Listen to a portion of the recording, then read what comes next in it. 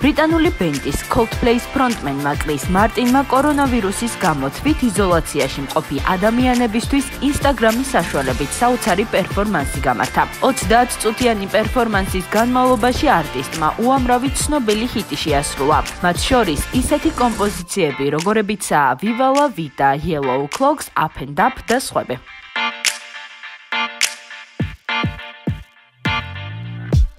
კორონავირუსის გავრცელებამ მსოფლიო კინოინდუსტრია და მოდის სამყარო სულ თავდაყირა დააყენა. გადაიდო უამრავი კინოპრემიერა, მუსიკალური ფესტივალი, გაუქმდა მსოფლიო ტურნეები და სხვადასხვა კონცერტი, განუსაზღვრელი ვადით გადაიდო. ჯორჯო არმანიმ, დოლჩე და გაბანამ საქველმოქმედო ფონდებში მილიონები გადარიცხეს, ისევე როგორც სხვადასხვა მსახიობმა, მათ შორის რაიან რეინოლდსმა და მისმა მეუღლე ბლეიკ ლაივლი. უკანასკნელი მოვლენების ფონზე ჟურნალმა Vanity Fair უამრავი ვარს ვარსკვლავი ერთად შეკრება. ისინი კორონავირუსის წინააღმდეგ გაერთიანდნენ და იტალიის მხარდასაჭერ აქციაში ჩაებდნენ. ჟურნალის გარეკანზე ისეთი ვარსკვლავები მოხვდნენ, როგორებიც არიან ირინა შეიკი, რობერტ დენირო, ჯონათან ანდერსონი, სტელა მაკარტნი და სხვები. გარეკანის მთავარი წარწერაა #ILoveItalia.